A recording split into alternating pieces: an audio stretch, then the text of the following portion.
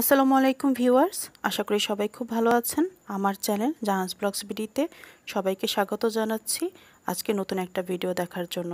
আর আজকের ভিডিওতে আমি শেয়ার করেছি খুবই মজাদার একটা রেসিপি, আর সেটা হচ্ছে মাওয়াঘাটের হোটেল স্টাইলে ইলিশ মাছের লেজের ভর্তা। আমরা সবাই জানি মাওয়াঘাট হচ্ছে নদীর তাজা ইলিশ মাছ পাওয়ার জন্য বিখ্যাত। আমরা অনেকেই মাওয়াঘাটে যাই, সেখানে নদীর তাজা ইলিশ মাছ ভাজা খাওয়ার জন্য বা ইলিশ মাছ দিয়ে তৈরি নানা রকম খাবার খাওয়ার জন্য। আর তার মধ্যে কিন্তু এই ইলিশ মাছের লেজের ভর্তাটা খুবই জনপ্রিয়। তা আমি আজকে সেই হোটেলের মতো করেই লেজের ভর্তাটা তৈরি করার চেষ্টা করেছি আর তার রেসিপিটাই আপনাদের সঙ্গে শেয়ার করছি।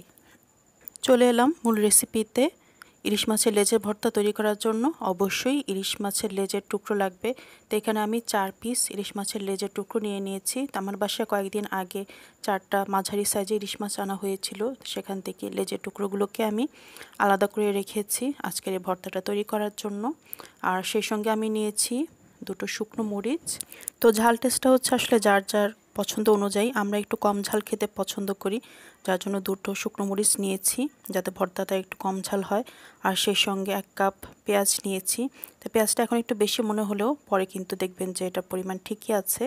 তা আমি এখন মূল প্রণালীতে চলে যাচ্ছি, আর সেজন্য আমি প্রথমে ইলিশ মাছের লেজের টুকরোগুলোকে ভেজে নেব। তো ভেজে নেওয়ার জন্য প্রথমে আমি লেজের টুকরোগুলোকে সামান্য লবণ আর হলুদ দিয়ে ভালো করে মাখিয়ে নিচ্ছি।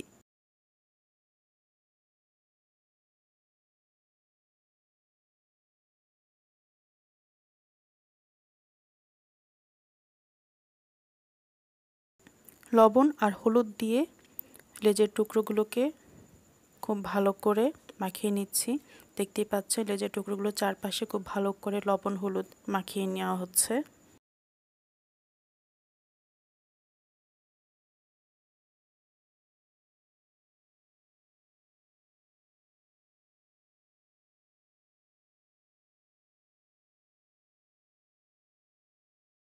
এই তো হয়ে গেল লবণ হলুদ মাখানো। এখন এগুলোকে ভেজে নেওয়ার পালা। ভেজে নেওয়ার জন্য এখানে আমি চুলায় একটা ফ্রাই প্যান বসিয়ে দিয়েছি। আর আমি আজকে ইলিশ মাছের লেজের টুকরোগুলোকে সরিষার তেল দিয়ে ভেজে নেব। হোটেলে সাধারণত দেখা যায় যে মাছের টুকরো বা লেজের টুকরোগুলো আগে থেকেই ভাজা থাকে, পরে ওরা প্রয়োজন মতো সেগুলোকে কাটা পরিষ্কার করে সরিষার তেল আর অন্যান্য উপকরণ দিয়ে মাখিয়ে দেয়।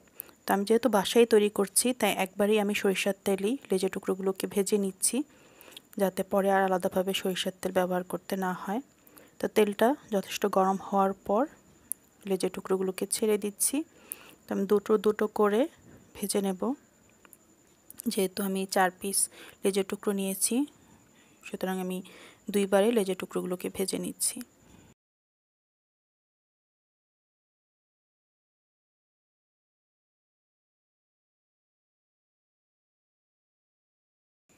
খুব ভালোভাবে লেজের টুকরোগুলোকে দুই পাশ উল্টে পাল্টে ভেজে নেব।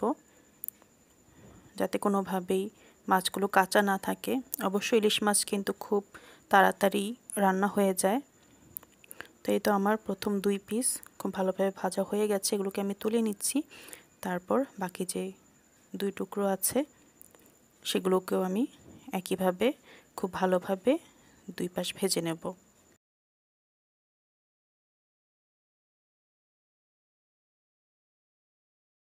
আমার মাছ ভাজা হয়ে গেছে। এখন আমি ভর্তা করার জন্য এক কাপ পেঁয়াজ নিয়েছিলাম। সেই পেঁয়াজ কুচিগুলোকেও আমি একটু সর্ষের তেলে ভেজে নেব। তবে এগুলোকে খুব বেশি ভাজবো না। দুই তিন মিনিটের মতো ভেজে নেব যাতে পেঁয়াজগুলো একটু নরম হয়ে আসে। আর কাঁচা পেঁয়াজ দিয়ে ভর্তাটা করলে খেতে খুব একটা ভালো লাগে না। খাবার সময় পেঁয়াজের কাঁচা ভাবটা মুখে লাগে।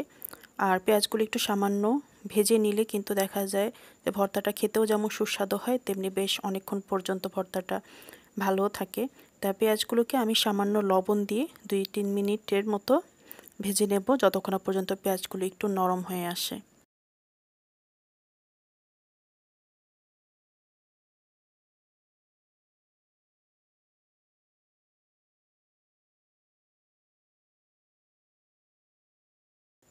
আমার পেঁয়াজগুলো কিন্তু ভাজা হয়ে গেছে, দেখতেই পাচ্ছেন। কাঁচা অবস্থায় কিন্তু মনে হচ্ছিল যে অনেকগুলো পেঁয়াজ নিয়েছি, এখন ভাজার পর কিন্তু বেশ অনেকটা কমে এসেছে। আর সেই সঙ্গে আমি যে দুটো শুকনো মরিচ নিয়েছিলাম, সেগুলো একটু ফ্রাই প্যানে আমি টেলে নেব।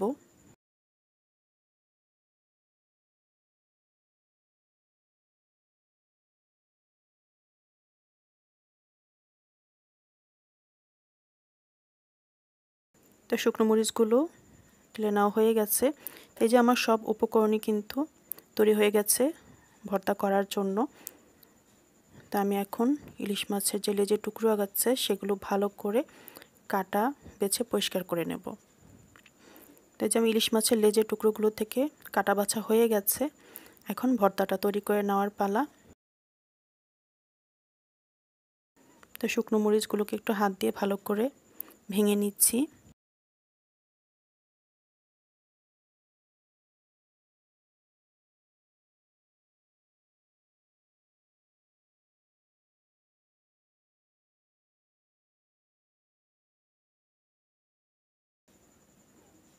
শুকনো মরিচগুলো ভাঙা হয়ে গেছে। এখন শুকনো মরিচ আর পেঁয়াজগুলো প্রথমে একটু ভালো করে মাখিয়ে নিচ্ছি।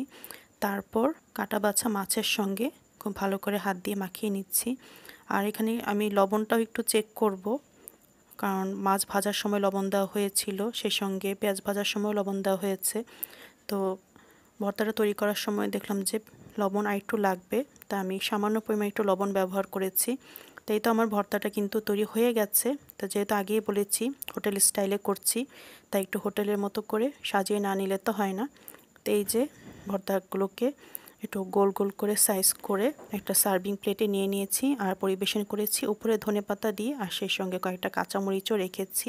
তো এই তো তৈরি হয়ে গেল আমার মাওয়া ঘাটে হোটেল স্টাইলে ইলিশ মাছের লেজের ভর্তা।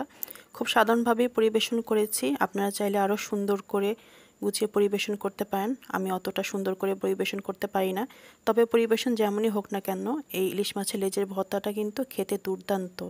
আর এই ইলিশ মাছের লেজের ভর্তা দিয়ে কিন্তু এক প্লেট ভাত নিমিশে শেষ করা যায়। তাহলে আপনারাও বাসায় ট্রাই করবেন। এই ইলিশ মাছের লেজের ভর্তা রেসিপিটা আর আজকে আমার রেসিপিটা কেমন লেগেছে সেটা অবশ্যই কমেন্টস করে জানাবেন।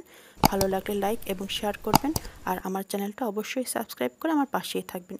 তাহলে সবাই ভালো থাকবেন, সুস্থ থাকবেন। আজকের মতো বিদায় নিচ্ছি। আল্লাহ হাফেজ।